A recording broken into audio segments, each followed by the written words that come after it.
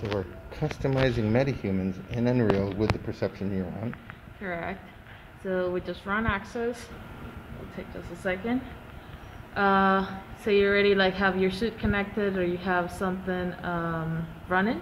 Mm-hmm. Give it play.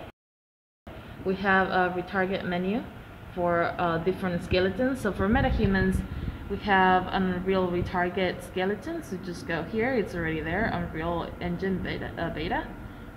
Pick it up. Hit OK, and then we will go back to our engine. We use the live link, which I can get rid of this, show how that works. So uh, go to source. Uh, we uh, activate the live link plugin. Just make sure that has the same IP as Axis. Hit OK, and there, here we go. No. And this is a customized character. Let me just like turn her around. Here we go.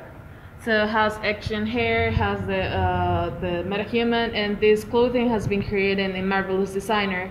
So all of it is working together. Metahuman is a new rig, so we have a few changes to make, but there it's like ready to go. Wow. So this is proof of concept. I mean, Correct, the proof of concept of like the the, e- the how easy it is to manipulate metahumans and play with it with Axis, and just have it in the engine playing. so Noitom is really just embracing the Unreal virtual production workflow. Correct. That's fantastic.